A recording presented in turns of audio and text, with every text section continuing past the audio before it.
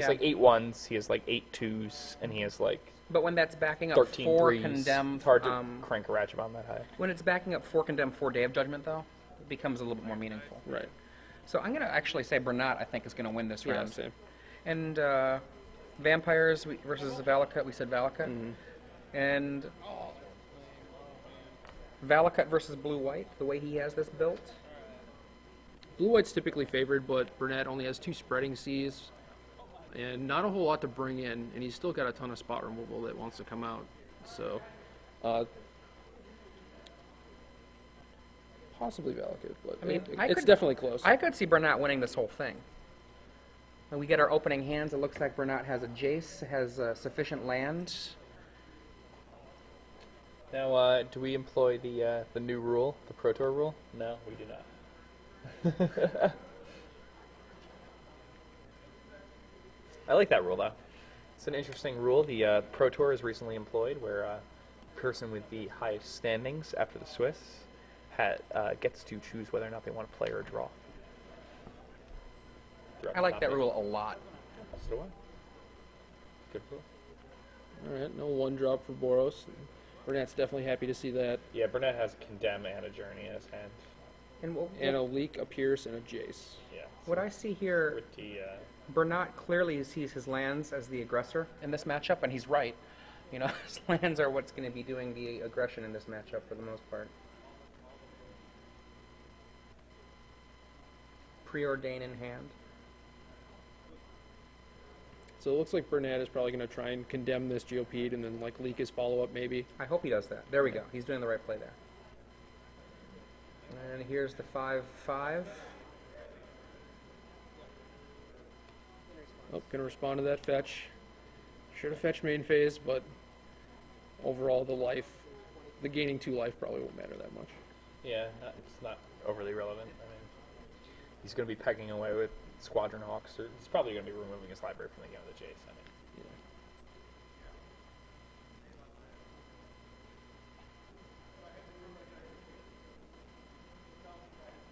Ben Robinson could double threat here afterwards and get one thing through, but there's still a point elim in Bernat's hand. That seems like a good thing to Manly. Yep, I would agree with that one. Huge threat. Ben has two swords in his deck, and adventuring gears and stuff. Those hawks, Yeah. Hawks actually pretty big threats. And like right here, if you lay a Jace onto the table, if he has the land, yeah, it's pretty brutal. to play he does not here. have the land. It doesn't look like. Looks like Yeah, he he has a plan. does. Yeah, I think he has Does he have plans it? in his hand. Yeah. Oh, He's thinking one, two, three, four, five. What happens if a bushwhacker comes down? Well, he also knows his opponent has Hero of Oxid Ridge. He knows his opponent has Koth. He knows his opponent has. Yeah. You know, like he's he's seen the deck list. He knows the iterations of cards. his And opponent he, can have. he, he knows his opponent has 25 lands, which means that he should be aware that it's likely that he can probably drop a four. I still like dropping the Jace. yeah, Jace, Fate Seal, probably yourself, because Yeah. you don't necessarily know what your opponent needs. Absolutely. His opponent has so many cards in hand, a Fate Seal is not necessarily going to be very effective. Well, other way around, though, I guess. Yeah, I I would have liked the Fate Seal on myself there. Maybe he just wants some info. He left him with the Steppe Lynx. It's a pretty good one to leave you with. Mm, It's definitely reasonable. Going for the four here means uh, very likely. I mean, he's doing that before he does anything else. So, You gotta assume, especially after he draw, he drew a Steppe Lynx, that he's gonna use all his mana this turn. yeah. Here comes Koth, maybe. Oxid. Looks like a hero. Yeah, it's an Oxid. Down to one. Yeah, seems like Bernat's okay with that. Drew a mana leak this turn, so he gets the journey and mana leak. And he has a pretty good reason to believe that his opponent does not have a burn spell, because what I would have done if I had the burn spell, end of turn, cast the burn spell, follow up with the Oxid Ridge to kill the Jace. Right. He didn't do that, so it's probably not in his hand at all. That killing that Oxid should be enough to keep his Jace going for a while. Jace is so good. It's It's okay. so frustrating to watch people play with it. I'm always like, man. Whenever I play it, it's always so hard. People always have such like a board advantage. I don't even have to work for it. Yeah. It's tough though. Like Jason, Gideon, both. You know, going up to five loyalty or eight in Gideon's case, it's just so tough to kill. Yeah, you end up like it makes aggro decks just like really like you you have to know when to switch switch gears like really well. Okay, so he has a mana leak, and does he have a condemn in his hand as well? Not sure about that Um, one. I'm not sure. Thought I saw a condemn, but I'm not uh, willing to bet money on that. Check. That seems like a leak-worthy target. Well, Bernat has a Squadron Hawk of his own Oh, too, so he he? can match him. Okay, So the only thing that's really going to matter is the equipment. totally fair. Thank you. Yep, and he lets it resolve. Bernat has a lot of patience. Yes, he is. He is very willing to, to take some time with his his game play, how it comes out, how it develops. Very meticulous. Everything is well planned. You know, most players they have a mana leak. They would just mana leak the first spell possible. Here he is thinking. See the hands.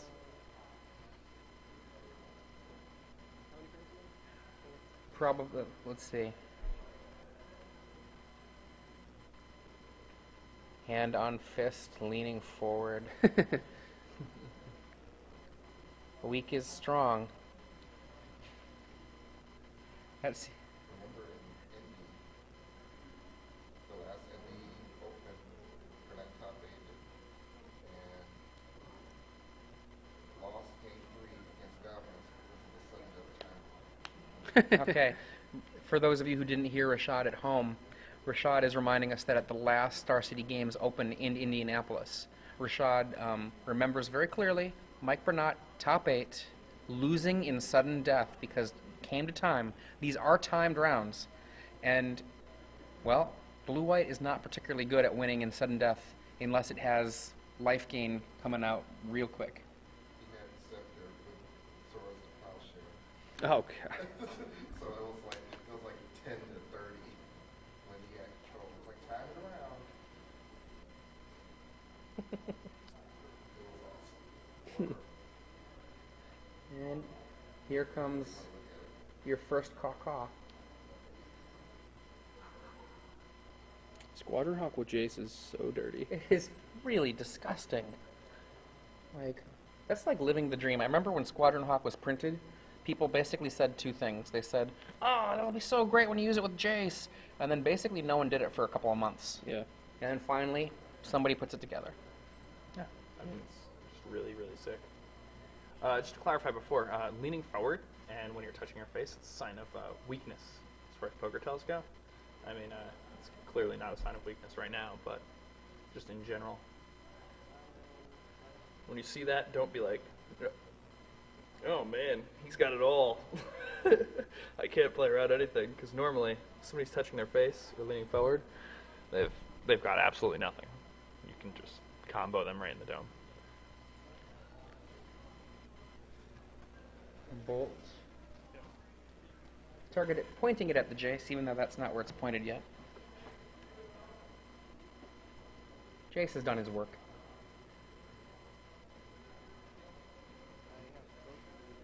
Are his last two cards Squadron Hawks? Um, I think so. No, he has should- one Squadron Hawk in the bin. He encountered Oh earlier in right. Okay, so he does. Yeah. He has one in his hand. Yeah, his Squadron Hawk Squadron X. Hawk in his X. Preordain.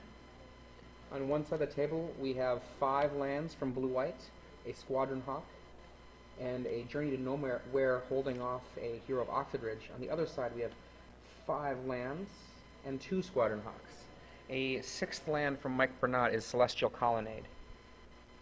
Hero would be fantastic right now if it wasn't under that journey.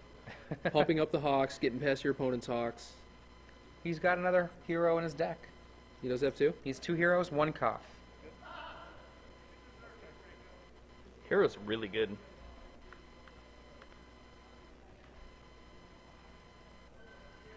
Okay. For not just letting the game play out slow. It's how he wants this game to proceed.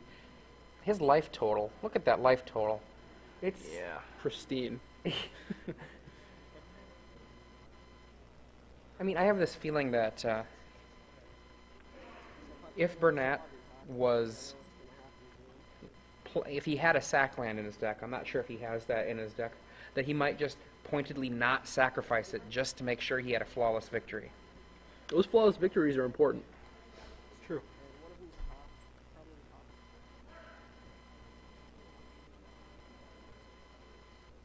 You know the funniest when uh, when you get the flawless victory on somebody, or like the perfect when you play Street Fighter at the arcade. Did you guys go to arcades when you were a kid? Oh yeah. Yeah, and like they would like put in more quarters to play against you again. You're like, really? Like you you want to run this back? Like this? I just- I that just went ran so well for you. But, well, sometimes you want to learn against a master like yourself, though.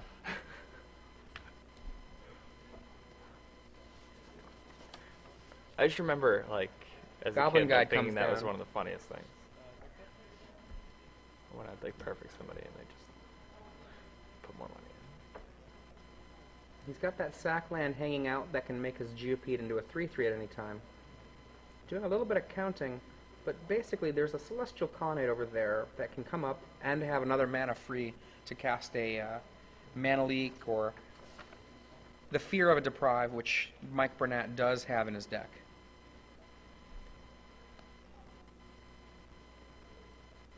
Here they come. Reveals Stoic Rebuttal.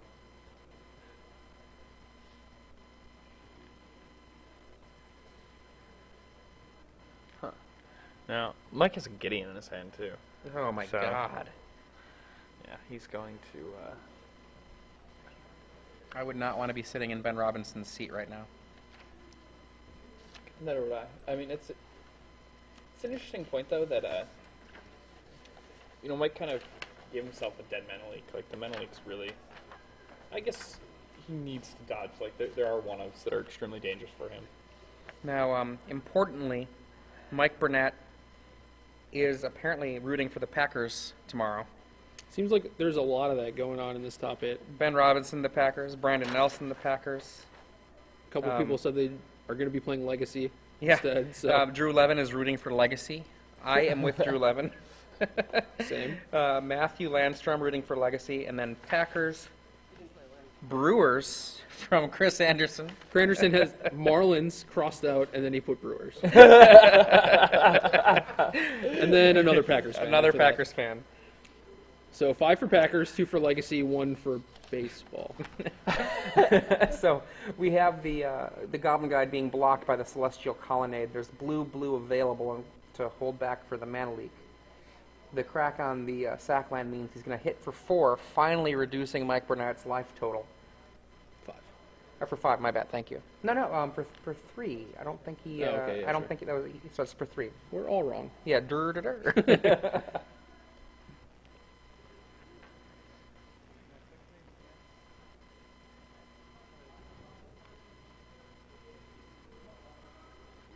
I like how play Arc Trail and you can just like move it around on the table and people just know what you mean. Did did Bernat have a leak or a deprive or something? he did not have a deprive, but I thought he had a leak.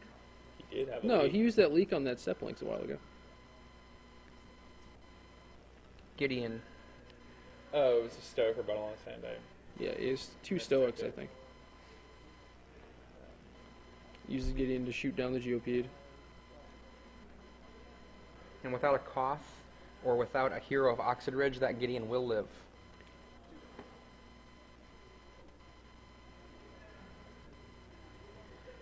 Oh, now Gideon is a monster. He's fogging every turn. With Stoic Rebuttal in hand, if not Stoic Rebuttals. Caw.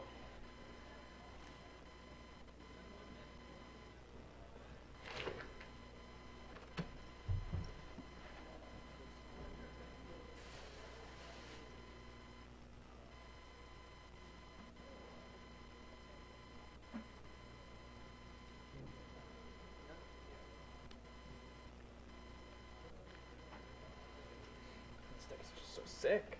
This blue white deck? yeah. I should play decks like this, man.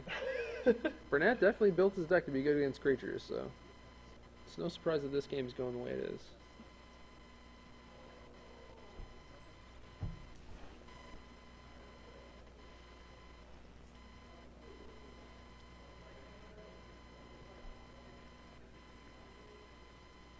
is. Slight twitch of his finger as he contemplates where the block will be. Sacks the land to the Steppe Lynx. Try to really get that Gideon down.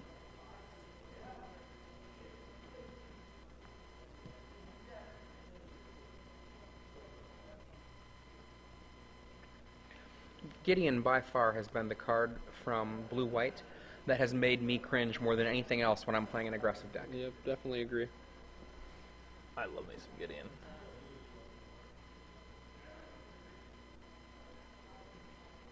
I mean, when it comes down to just with the red deck that I've been playing in standard, if I look at my matchups versus blue white, it's basically two things. If they play Gideon, I've got about a 20% matchup, and if they don't, I've got about an 80% matchup. and it's literally the case when I look at the numbers.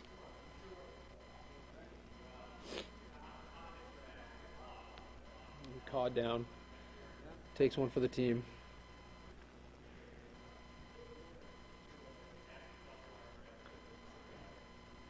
It's the last hawk, right? That is the Standing last day. hawk. The last hawk, one card in hand, and uh, he put, puts it up in the air because Mike Bernat probably asked, "How many cards left?" Before I cast this Day of Judgment in my hand with my seven other cards in my hand, or is that 12 other cards? I can't quite yeah, tell. it's it's all about the same. Yeah, I mean, he can dice when I'm Gideon now. I maybe he doesn't though. I, I think he probably wants to keep Stoic Mana open. I agree with that. Yeah. That's reasonable.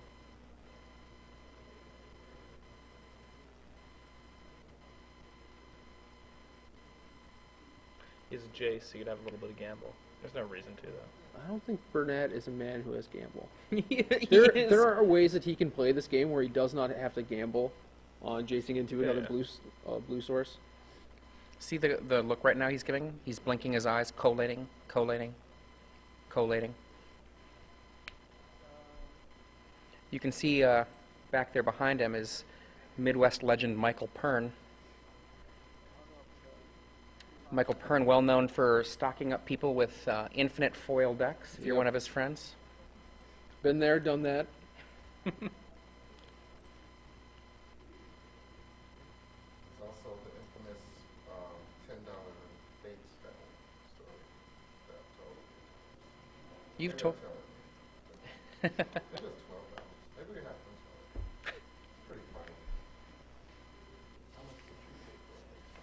I would not pay for Faith's Fetters. I have enough face fighters as it is. You would have that culture home. You would, you would pay big. Why? did Nobody have them? Wow. Give us some brain. Yeah, just Ravnica.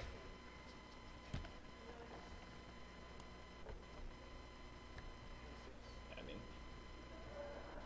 I have, I have hundreds of Faith's Fetters.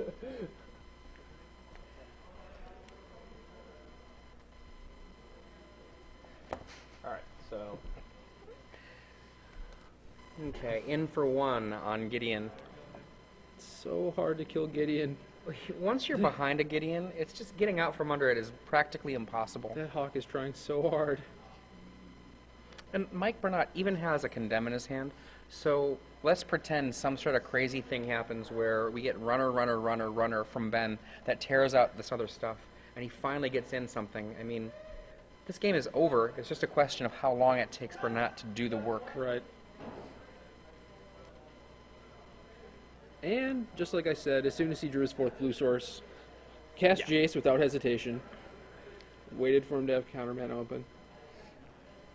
This is an interesting situation where you have Jace and they have two fetch lands and you fate seal them. Do you just snap, leave whatever card is on top on top? Yes. Yeah. Yes. I got to do that to VD in the top eight of the Legacy Open in San Jose. That was awesome. Like killing him with Jace, I'm like, oh, you have a Jace on top. Yeah, leave that there. Cracks his fetch and he's just like, no, what have I done? No, is that a? It's a Journey of Bolt in a Mountain. Ugh. Not the best cards. right.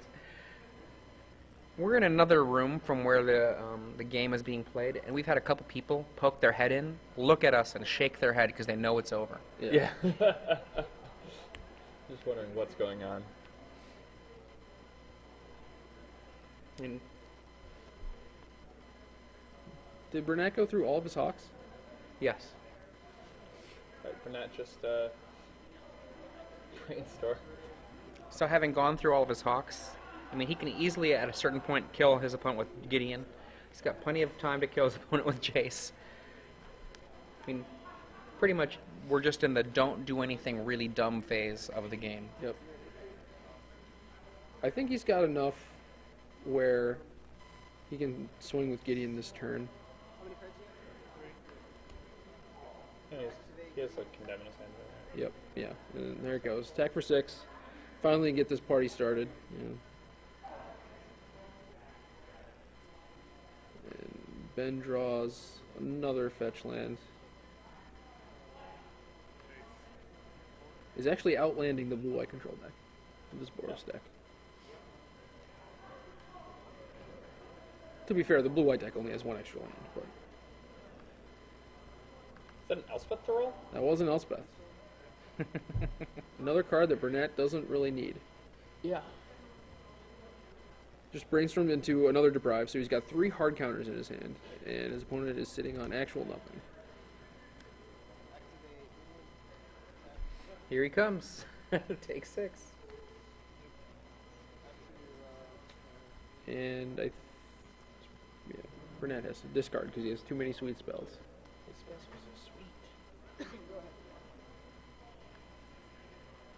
And Ben draws another fetch land, Yeah. scoops good. him up. There we go. That's what we want to see at this point. Just next game. All over but the crying. Yeah, post board, uh, Ben's going to pick up some more copies of Koth the, the Hammer, and he's also going to pick up some Phyrexian Revokers. Those will all be pretty good here. The Revokers less so, but Well, he knows Adrian has a t- or um, Adrian. I'm like reading over here, looking at Adrian. But he knows Bernat has a, a ton of ratchet bombs and stuff, and he has Gideon and Elspeth, like all cards that are. oh worth yeah, I shutting mean he's definitely bringing the Revoker, but It's going to be Koth of the Hammer, Revoker, and I don't know if anything else makes the ma- manages to make the cut. Yeah, that's about it. He has Act of Treason, Tunnel Ignus. Cards that are just not very good, but he wants to side out Journey, Arc Trail, Lightning Bolt. I mean, he might keep in Lightning Bolt just as a Yeah, a as a as a reach to try to finish off. A lot of people typically do that too. yeah, I mean I don't really know what he could t- what he's bringing in in those spots. Like I mean, he's Koth bringing is the well, Koth is Koth is the insane, only and clear- Revoker. yeah. Well, Revoker's definitely coming in. Um, how about Michael Bernat here? He has uh, an extra copy of. Uh, he has two Ratchet Bombs, two Kor Firewalkers, extra Condemn. I mean- uh, and an extra Day of Judgment. I mean, basically, after board, the way that this match plays out is where it was bad before, it becomes terrible. Yeah, it becomes miserable, miserable bad. And Bernat knows that the only card to really fear from his opponent is probably Koth.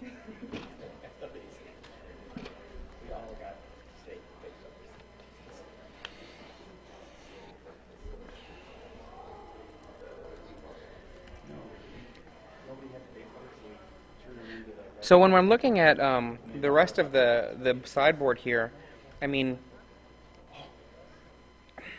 the cards you don't like are Arc Trail, Journey to Nowhere, right? That's yeah, four Archer, cards. Nowhere. So that gives you the two Koth, and I guess just two Revoker to turn off uh, Jace, turn off Gideon, maybe. Yeah, and and Ratchet Bomb, and Yeah, you know, it's that card is definitely a card that comes in. that's a solid four of four, four in, four out. I mean, this looks bad. bad. Mike Bernat gets so much stuff post board. Looks like I'm being pulled away. My, my Alright. peeps are leaving. Uh, Jerry's off. Drew Levin is on the top four, as is Chris Anderson. Thank you very Oh, much. he's in the same car, in the same house. So Drew Levin playing Red Green Valakut is uh, into the top four now. So is Chris Anderson playing Kuldotha Red. Uh, they live in the same house and they came in the same car, and they're playing against each other in the top four. It's pretty pretty fun fact. There were 500 people in a tournament. It's pretty crazy when things like that happen. Yeah, 544 competitors and two friends, two roommates make it all the way here. And you know, at a certain point, one of the things you hear a lot at Magic tournaments is, "Oh, I can't believe I had to pay, play somebody I know." Well, when you've been playing the game for as long as a lot of people have, it's inevitable. But it's really great when that person you know, it's in the top eight, it's in the top four. Yeah, you have so much fun. Like the the finals of Worlds this year was one of the most fun matches I've gotten to watch in a really long time. Like two best friends battling it out in the finals of Worlds. How sick is that? That would just be so great. I mean, Yeah, it's the most fun Yeah. ever.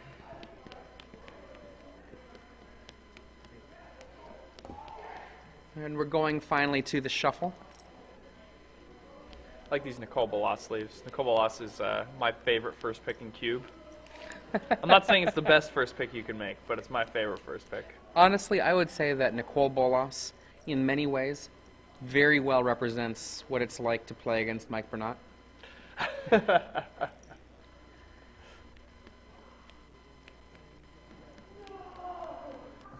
Hey man.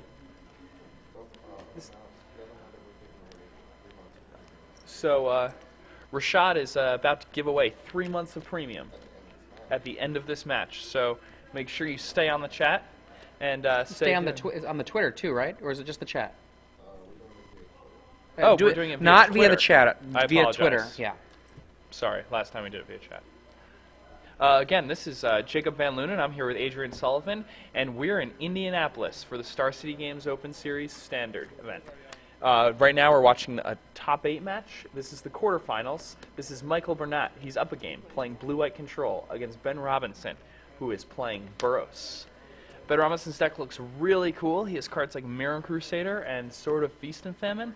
Uh, he also has Hero of Oxid Ridge. He's got a lot of cards from Mirrodin Besieged. That's pretty exciting. Michael Bernat, on the other hand, he is playing a traditional Caw-Go deck, which is actually tuned to beat creature decks. Yeah, So this hardcore is- tuned. This is uh, very bad for Ben Robinson. In fact, I I don't think it gets much worse than this. Like if I if I got to bring a personal 75 designed to beat Boros, it probably wouldn't look more than two cards different than how Michael Bernat's deck looks Yeah. post board. Part of the reason it's so particularly bad is that Mike Bernat's deck has the the paralyzing combination of point and click single creature elim spells in abundance, and then with Day of Judgment and Gideon. That is a combination that is really hard to beat when you're a creature deck.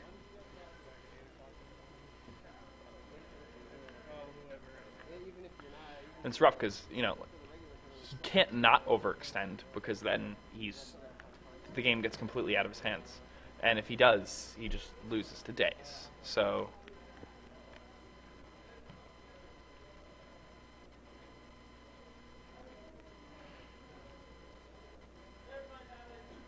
You know, I, I feel like the ways that he wins this game involve Mike Bernat stumbling hard on mana, like having a three mana hand, three land in his opener, and then just not finding a land for several turns. Yeah, I, I I don't think there's much of a way Mike loses this one. He's also I- he's I- got the. I guess you're right. I'm just talking Yeah. about what the situation is in which he might lose. Yeah, no, and I'm sure I'm sure he can lose. Like the stranger things have happened in Magic. I remember uh, watching a Kami of the Crescent Moon deck steal a game in. Uh, do you remember that Team In, uh, constructed. It was uh, I think it was Pro Tour Honolulu. Oh yeah, yeah. Actually, uh, the Faith's Fetters Pro Tour. Okay, we got Yeah. the opening hand there. I think I see three lands. mana leak, uh, Jace the Mind Sculptor, a condemn. condemn. On the other side of the table, I think I see Goblin Guide turn one. Here we go. That is what he wants to see.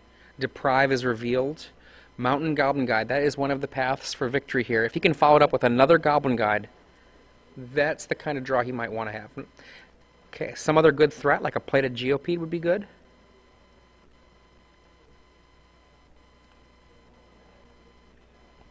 He's got a Lynx. A Lynx is solid, and he says go. Ooh, no way. No white source. That is very okay. There's a sack land for the white, but now he's going to be playing into a mana leak. So he holds off for one more turn just so that he can play around it.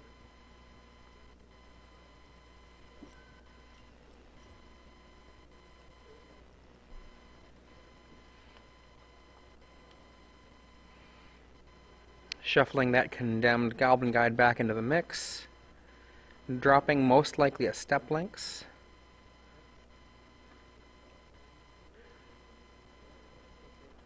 To which Bernat says, okay.